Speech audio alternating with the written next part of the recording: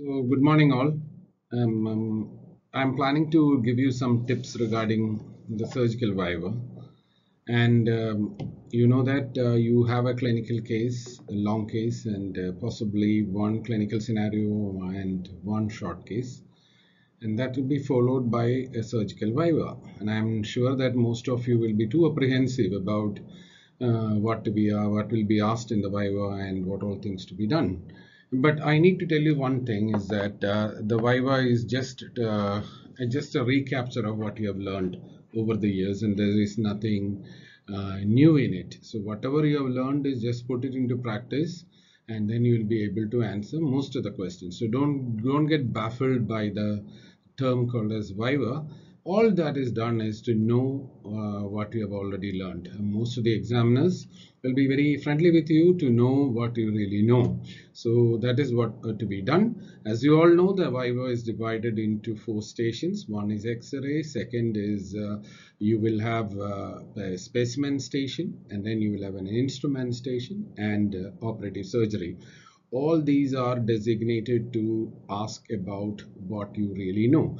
I'm doing this because uh, I was supposed to take a class for my undergraduates, but uh, because of the COVID time and we could not have a direct class, so we are just recapturing what is basically required for you. I'm not telling you this will be asked, but you should have a vague idea regarding what all things can be asked in each heads. So a quick review of X-rays is what is being done in the first session and that will be followed by instruments and specimen in the later course of time. So let us start with the X-rays and when you have X-ray stationed you will normally have two to three minutes time and uh, you will be seeing one non-contrast and one contrast x-ray one plain x-ray as well as contrast x-ray and the examiners will be asking based on that for an undergraduate exam and also to a certain extent for national board as well as the postgraduate exams, we'll be concentrating on basic things and then trying to build up what you really know. If you answer well, you will have more number of x-rays being asked to you and that will only add to your additional marks and you are strengthening your total output as it is. Right. So uh, commonly that is the the, the x-rays that, that are asked for you is a plain x-ray and uh, and contrast x-ray. Sometimes you'll be shown some special investigation and just asked about what is it and how it is done and how will you approach the case. So let us start uh, with uh, plain x-rays. And uh, plain x-rays include x-ray of the chest as well as x-ray of the abdomen. Those are the usual x-rays. Very rarely we will keep x-rays of the other areas also. And you know, in orthopedics, you will have x-rays of the limb regions and the pelvis. Right.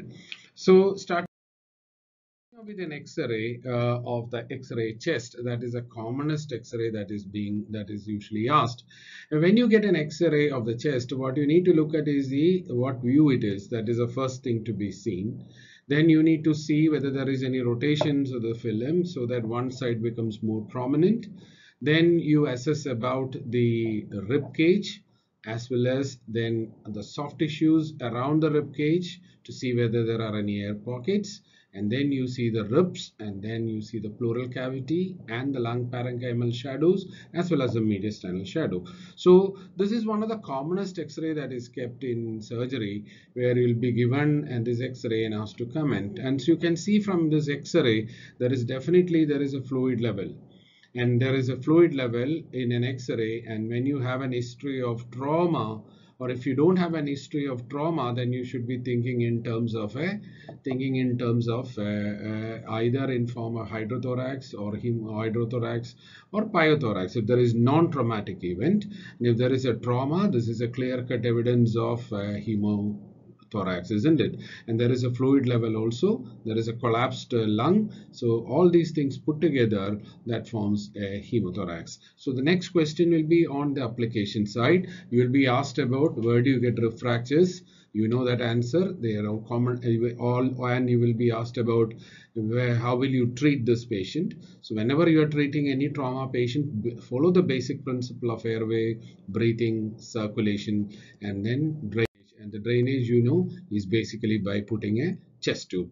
Again this patient x-ray you can see that if you look at this side you can see there are multiple fractured ribs on one side.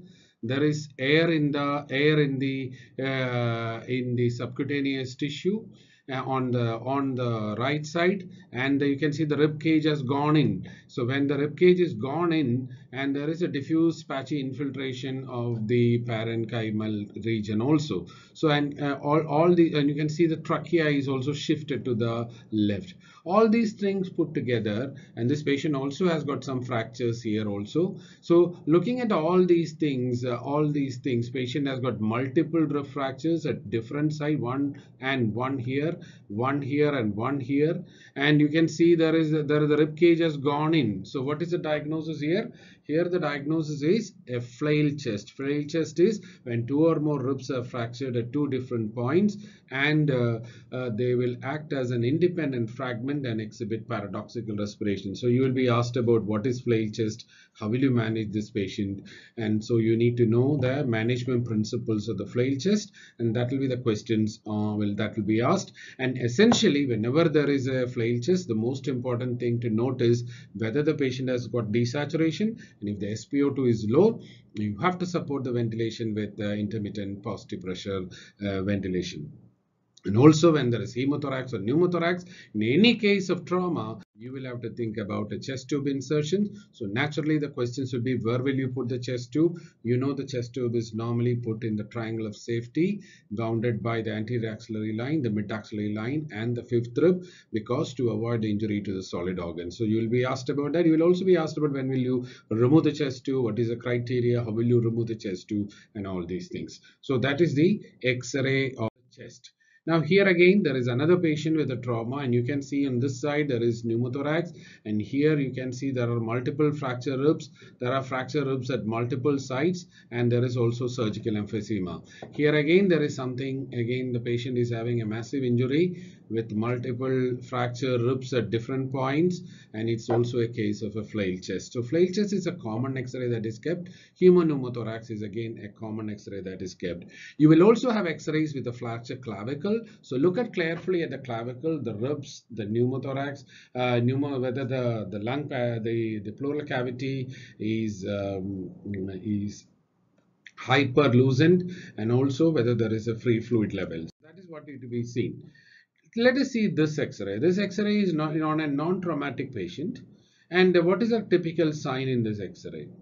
So if you look at both sides, you can see on the right side there is some appearance, isn't it?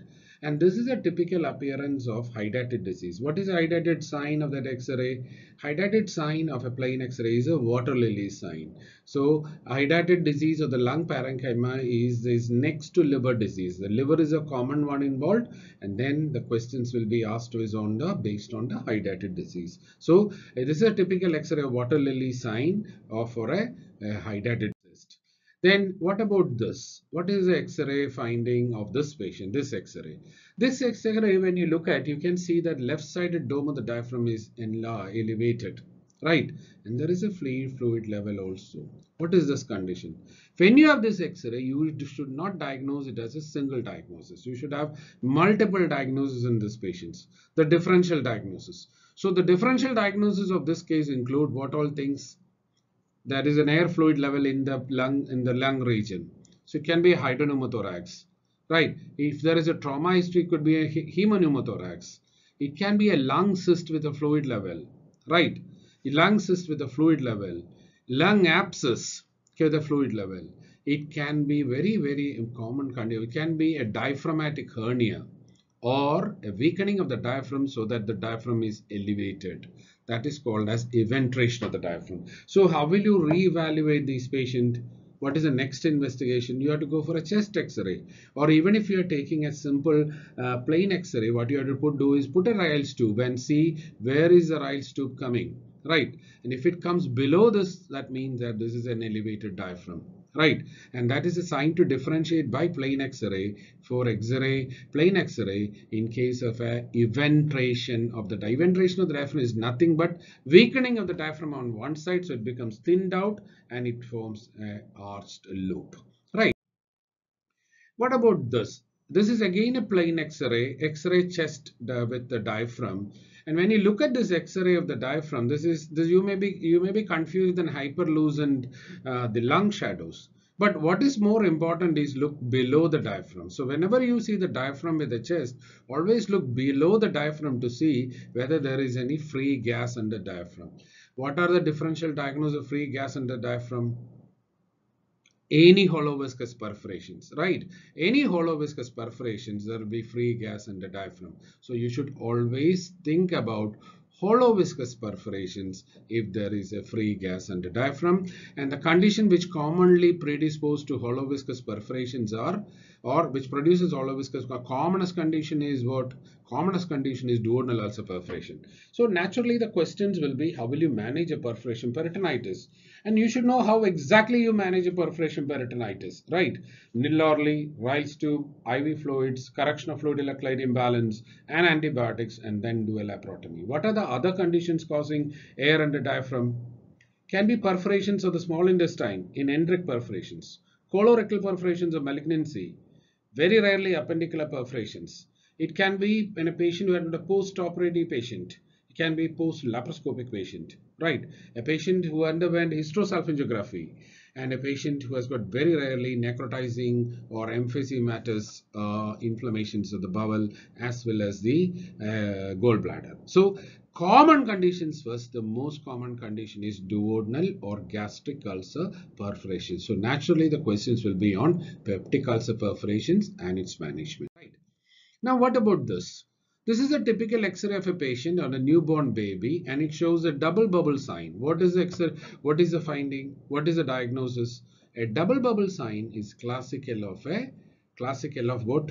Classical of a duodenal atresia. A duodenal atresia which is a congenital disorder when the second part of the duodenum is obstructed by a web and the classical sign is a double bubble or sign. A single bubble sign when the only dilated gastric shadow is seen in hypertrophic pyloric stenosis and a triple uh, bubble uh, bubble appearance is seen in a jejunal atresia. So remember double bubble appearance and double bubble appearance is classically described in a case of a duodenal.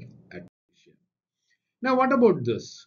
This is again an X-ray, it's an unusual X-ray. I don't think you need to know much about it, where you get air pockets in the region of the stomach.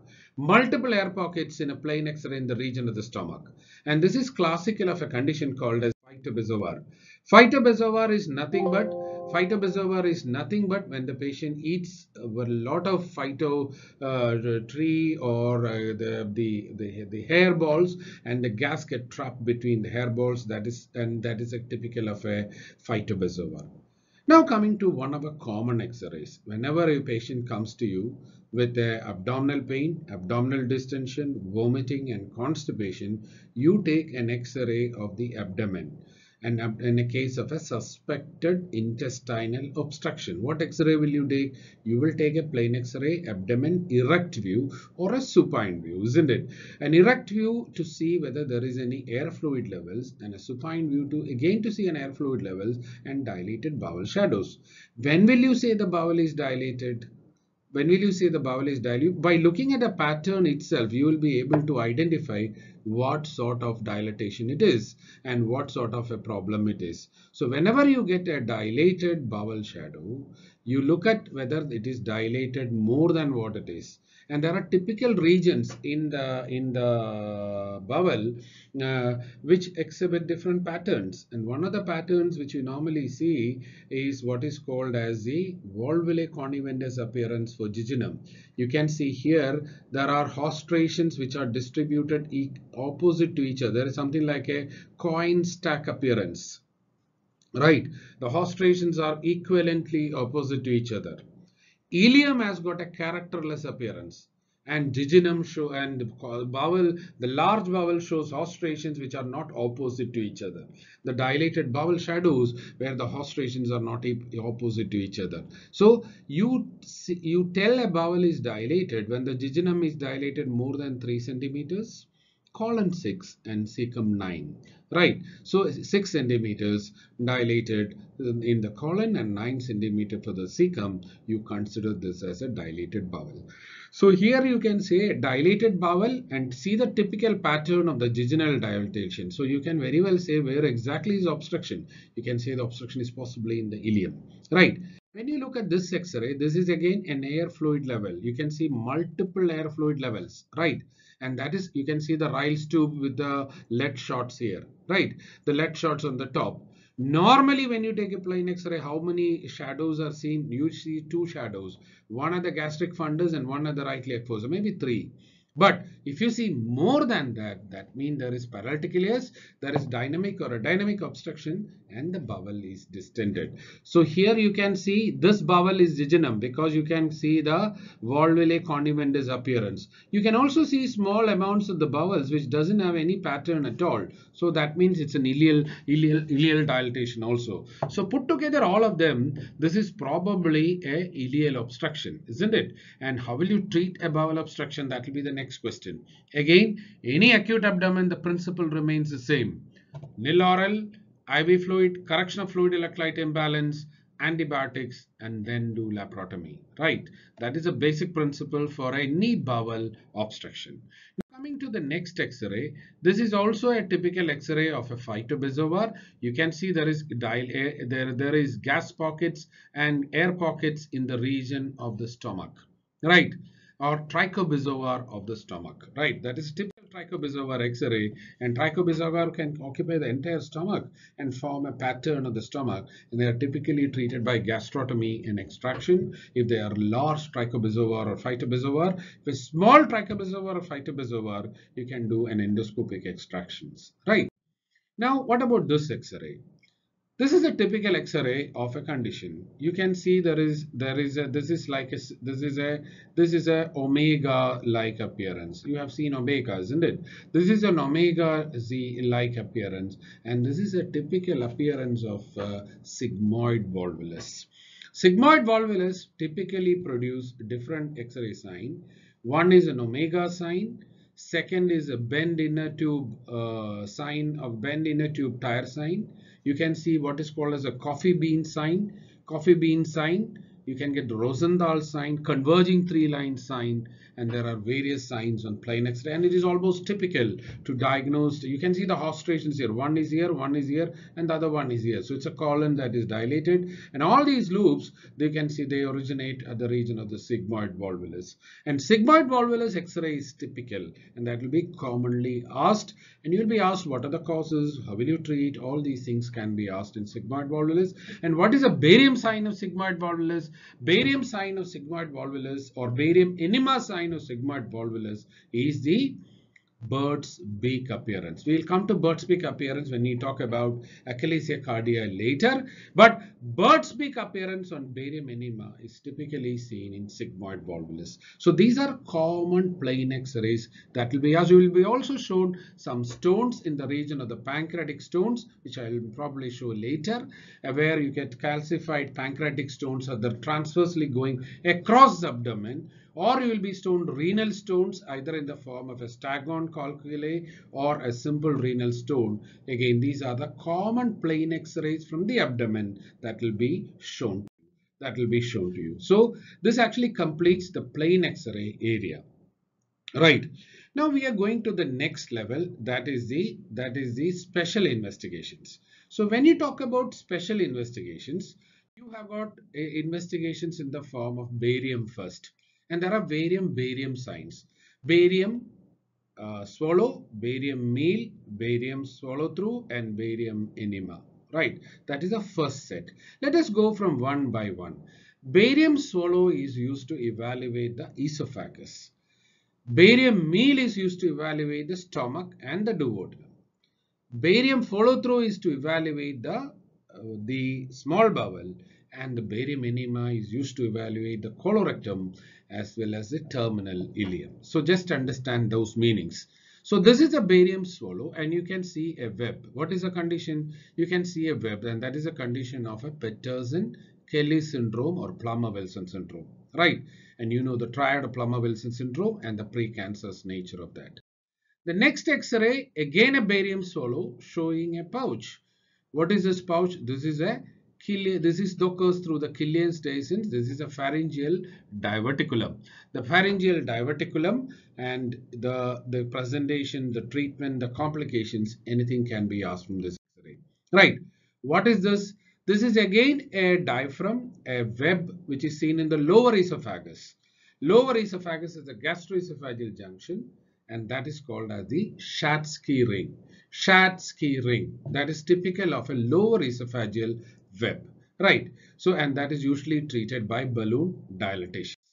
Now Again, you can get diverticulums of the esophagus either very close to the, the stomach in the region of the gastroesophageal junction. They are called as epiphrenic diverticulum. And when you get diverticulum of the mid-esophagus, that is called as the mid-esophageal diverticulum.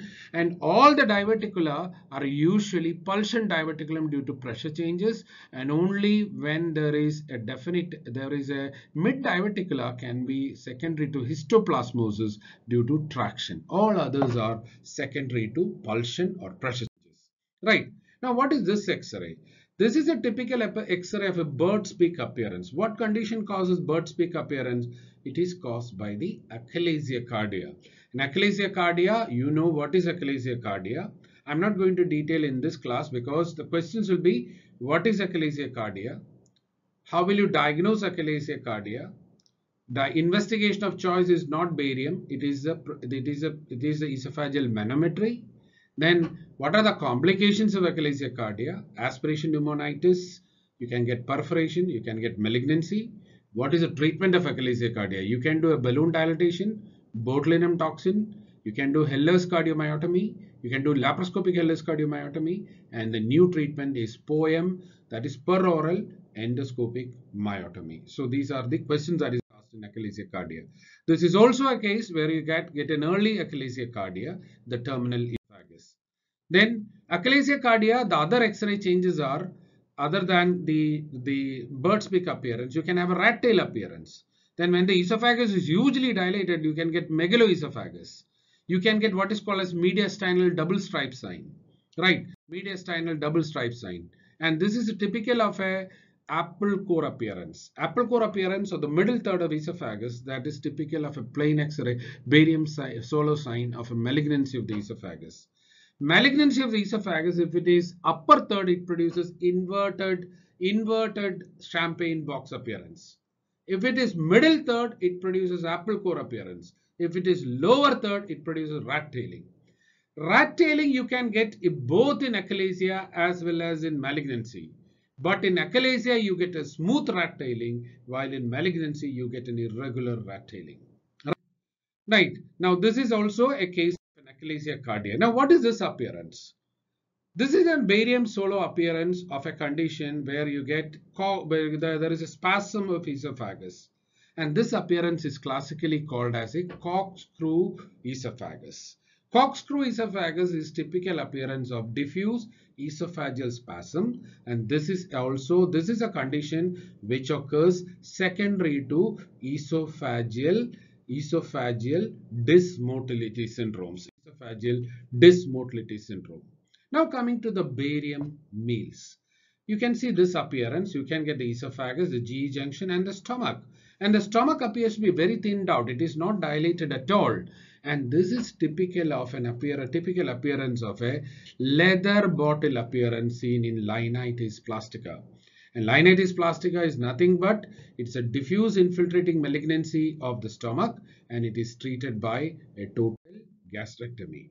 What is this X-ray? This is also a barium enema, barium swallow, barium meal appearance. And you can see the greater curve has gone up and the lesser curve below. This is a condition called as gastric volvulus.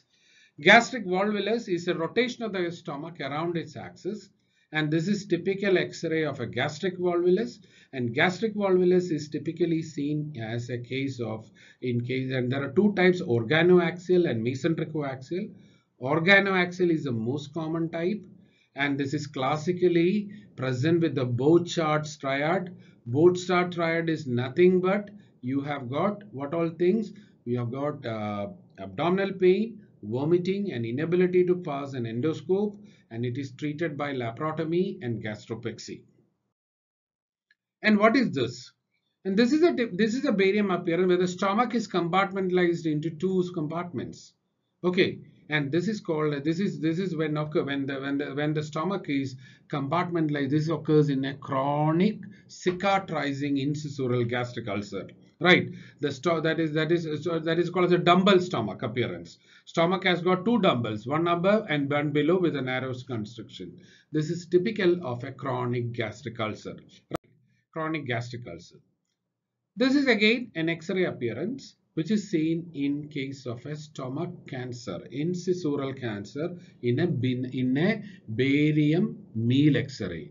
And you can see there is a meniscal sign on where the arrow slash stands, and this this sign is called as the this sign is called as the Carman's meniscal sign.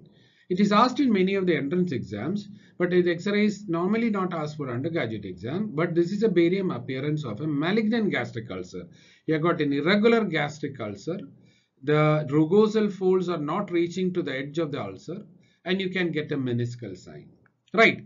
When you look at a benign gastric ulcer, you can see there is a smooth projection at the incisura, and this is called as the this is called as a Hudok Naik right that is called as a Haudek niche or uh, and there is a line which goes across. That is called as the Hampton's Hampton's line and there is an incisoral defect. Right so those are the signs of the benign gastric ulcer. Now what is this x-ray this is a typical x-ray which which shows this is a typical x-ray which shows the stomach mucosa very well duodenal mucosa very well and a projection I don't want you to diagnose this problem, but this problem is typical of a condition. So this investigation is what is called as the hypotonic duodenography. Hypotonic duodenography with a benign gastric or duodenal diverticulum. Right. Now what about this? This is a typical X-ray of a barium enema. And what does it shows? It shows there is multiple, multiple punched out defect right and this typical appearance is called as a thumb printing sign what condition causes thumb printing sign thumb printing sign is caused by ischemic colitis mesenteric ischemia. Ischemic colitis and this is a typical x-ray of mesenteric ischemia. And where do you get mesenteric ischemia commonly? It occurs in the left the left side of the splenic flexure which is an area of hypovascularity. Right. Now what about this? This is again a barium appearance where there is multiple thorn-like appearance, right? And this is called as the, what is this appearance called? This is called the rose thorn appearance, isn't it? Or you can, you can see multiple outpouchings, multiple outpouchings on the sigmoid region, typical of a diverticulosis of the colon divertical multiple outpouchings right so uh, that is typical of a, a, diverticular disease of the colon and that is commonly seen in case of a sigmoid colon and typically treated by complicated by diverticulitis perforation and abscess formation and colovesical fistulas what about this you can see there are no haustral pattern at all in the colon and this is a this is a typical X-ray, what is called as a lead pipe appearance. And lead pipe appearance is typically seen in ulcerative colitis. What the ulcer you get lead pipe or you get pipe stem appearance, where there are no haustration seen. And what you get in uh, what what is X-ray sign you get in Crohn's disease? Crohn's disease affects the terminal ileum, and it produces a typical X-ray sign of string sign of Kantor isn't it? String sign of Kantor That is the X-ray sign of a Crohn's disease. A lead pipe or a tube, a stem pipe appearance is typically seen in case of ulcerative colitis. Now, what about the picture on the right? You get a barium picture with a clasp knife appearance. Clasp knife deformity or pincer grasp deformity. That is typical of intussusception. Intussusception, right? Intussusception, typical appearance is a clasp knife or a pincer grasp appearance. And you will have questions on intussusception. What are the appearances? Where do you get intussusception? What is the age group? What are the common causes of adult intussusception? All these things you be prepared.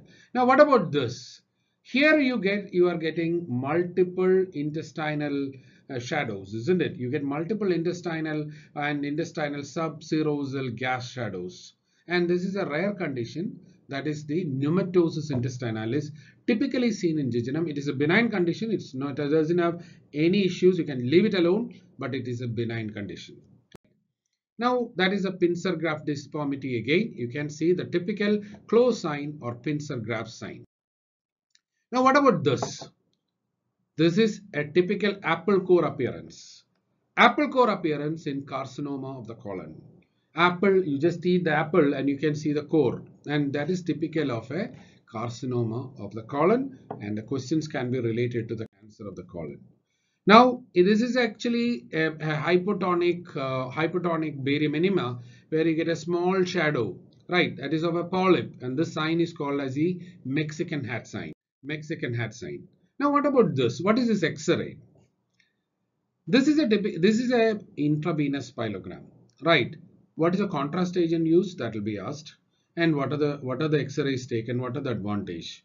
What is the finding there? You can see there is a there is a narrowing in the central part of the the the ureters of both sides, and you can get dilated tortuous ureters. You have also have got dilated pelvic calyceal system and the major and the minor calyces. But the problem is normally the ureters run transversely down, but here the ureters are displaced medially, right?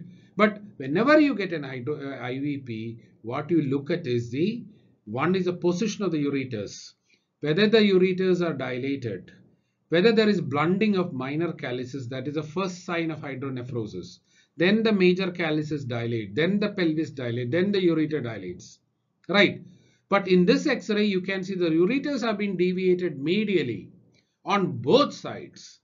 And this is a typical IVP picture of a idiopathic retroperitoneal fibrosis where the first organ to be involved is ureters. It's called as an Ormond's disease and it classically presents with fibrosis of the retroperitoneum. But this X-ray is projected not to discuss that. This X-ray is to project is projected to see how is a IVP read. And IVP IVP is read use. I'm telling only the key points. Look at the uh, ureters, the position of the ureter. They normally follow the transverse process on either side whether the ureters are dilated and tortuous, minor calyces are blunted, the major calyces are dilated, and also the pelvic calyceal system. Right, and this is again a typical sign of an adder head appearance on the on on on IVP on on on evacuation films, and that is typical of a ureterocele adder head appearance. Now coming to this X-ray, this is a common X-ray that is kept for you. What is this? What is this investigation? This is you can see an endoscope and you can see the biliary system and the pancreatic duct. So what is this investigation? This is endoscopic retrograde cholangiopancreatography, isn't it? ERCP. And you inject the dye that is a meglumine iothalamate, isn't it? And you image to see whether there are any stone structures and whether there are any other growth, right? And ERCP is usually done using a side viewing endoscope. And what are the advantage of ERCP? ERCP can be diagnostic and can be therapeutic. There are various ERCP signs. One is called as the chain of lake appearance. Chain of lake appearance is typically seen in chronic pancreatitis. You can get a double duct sign. That is sign of carcinoma of the pancreas. You can get you can get rail track sign. That is seen of biliary ascariasis. Right. Okay. So there are simple signs, but you just remember these three signs at least. And you can also see the the stones. Complication of ERCP, the most common complication is pancreatitis. The next is bleeding, perforation are the other two complications. It can induce pancreatitis when you do a sphincterotomy. Right. What does this X-ray show? This X-ray shows there are stones, isn't it?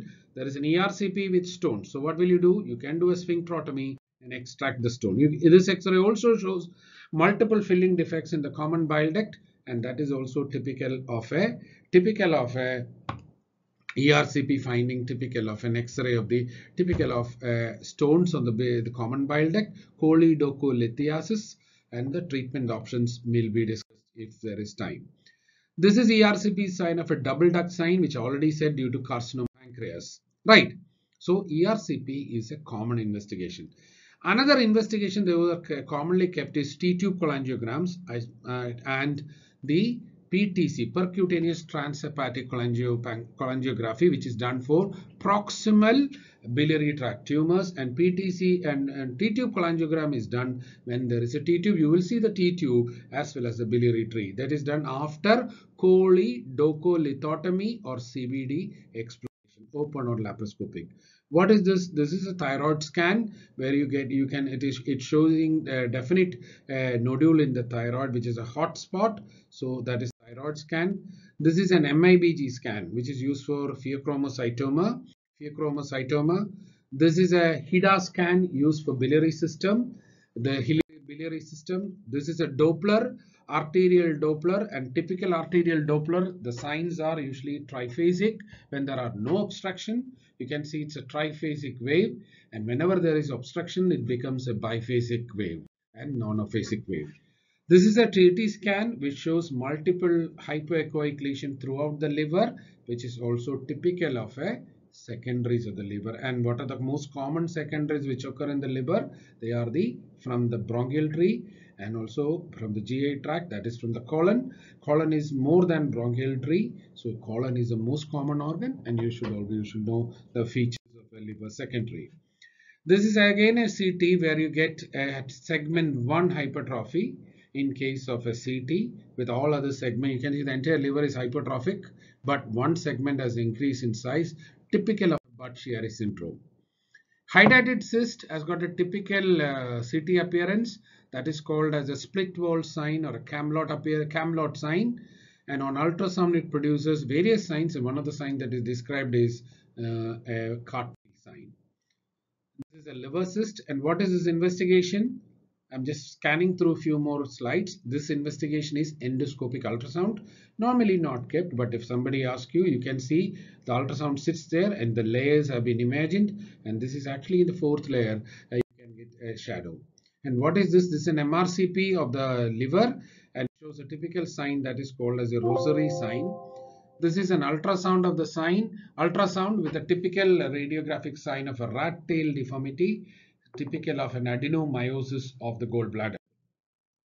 And what is this investigation? This is MRCP, magnetic resonance cholangiopancreatography, where you are, you are it is a non-invasive investigation. And normally, I normally ask what is the dye used for MRCP. There is no dye, and it is commonly it is it is imaged by bile itself.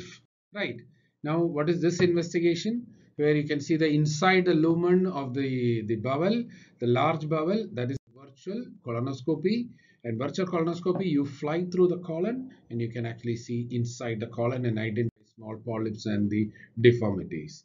And this is a CLO test where what is the indication? H. pylori. CLO test is rapid urease test where you get an immediate diagnosis in H. pylori commonly asked as a picture test in various exams this is an angiogram, a typical conventional angiogram Seldinger's technique where you are imaging, you are putting a cannula, a catheter to the to the aorta and inject and image the uh, the vessels below.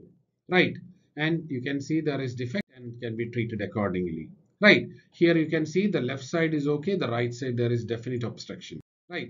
Now this is a digital subtraction angiography where you can get the vessels as well as vascular all other tissues are subtracted digitally subtracted. That is typical of a digital subtraction angiography. That is a CT of the abdomen a 64 slice CT where the abdomen is well imaged. The vessels are 3d reconstructed. So now for vascular imaging you can either do an mr angiogram or a ct angiogram which is 64 or 128 ct angiogram. Right now coming to certain other special x-rays quickly, one of these is this, that is x-ray of the breast, which is typical of a, uh, the features of a mammogram of x-ray of the breast and also the benign features of mammogram, which you should know. Mammographic features of a malignant breast include the diagnostic problems of uh, uh, the uh, the structural architecture and benign and calcification while in case of benign lesion you get well defined macro calcifications For example, you get popcorn calcifications or mulberry calcifications in fibroadenoma. You get curvilinear calcifications in mammogram in case of uh, fibrocystic disease. And uh, you get irregular stellate classifications in case of malignancy. Right. Now, what is the diagnosis? There can be picture-based questions. This is thyroglossal cyst. You can be asked anything about thyroglossal cyst. What is its appearance? That is appearance of a typical peau d'orange appearance in a malignancy of the breast. What is the appearance on the left breast? you can see the nipple areola complex is completely destroyed. That is Paget's disease of the breast. What is the clinical staging of Paget's disease? Clinical staging of the Paget's disease is TIS. That is that is that is a TIS. That is a clinical staging. And what is this test? That is the what is the classical uh, the classical test used to to to to, uh, to, to have a more exposure of the thyroid. That is a Pizzillo's method and you can see a chain of lake appearance on this x-ray on MRCP that is seen that is seen in chronic pancreatitis. You can see a typical rose thorn appearance. You can see a sawtooth appearance in case of the second part of the duodenum that is typically seen in periampullary carcinoma. This is a gross appearance typically suggestive of an uh, the uh, cholesterosis of the gallbladder. Cholesterosis of the gallbladder that is ERCP picture showing double duct sign. Again, ERCP, uh, barium swallow appearing, showing a diffuse esophageal spasm, sigmoid volvulus, a bend, you can see a typical coffee bean sign and a dilated bowel shadows uh, with a coffee bean sign, omega sign, Rosendahl sign, and barium sign. I already said is typical of, of a sigmoid volvulus is a big appearance. You can see an apple core appearance in case of a carcinoma of the esophagus double bubble sign, classical of uh, biliary vomiting and duodenal atresia. That is Meckel's diverticulum. What is this condition? When there is a peri, peri uh, lip staining, that is Peutz-Jeghers syndrome. That is Peutz-Jeghers syndrome. This X-ray you have already seen a tube plus tube, tube stem appearance or a lead pipe appearance in ulcerative colitis. You can see this X-ray where you can see free gas and the diaphragm on a plain X-ray. You require 10 ml of air to detect on a plain X-ray and 1 ml of air on CT. So CT is most sensitive, but we commonly use plain X-ray, X-ray chest diaphragm to diagnose uh, duodenal uh, uh, perforations. That is a typical X-ray sign, X-ray showing staghorn calculus, the calcium oxalate stones, calcium oxalate stone. Then earliest sign of uh, tuberculosis uh, on IVP is a moth-eaten calyx appearance moth-eaten calyx appearance. Here you can see there is multiple shadows on X-ray, the cannonball shadows, typical of X-ray of the typical of uh, malignancies of renal cell carcinomas and also on follicular the thyroid. That is that is a typical CT appearance of ADH, and you can see this. That is a typical that is a double J stent used for